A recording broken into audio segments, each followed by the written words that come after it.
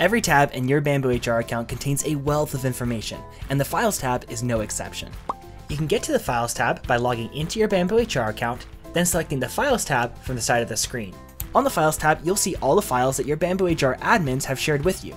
If you don't see the Files tab at all, it means your HR admins haven't shared any files with you yet. These files could include benefits provider information, an employee handbook, company style guides, or any other documents that pertain to your organization. You can also filter down all these files by selecting the folders on the left. You can view any of these documents inside of BambooHR by simply clicking on them and they pull right up.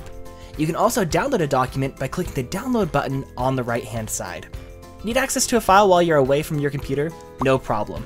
All these documents can be accessed inside the BambooHR mobile app under the Files tab at the bottom. Click the file you need to access and you're good to go. Thanks for watching and happy bambooing!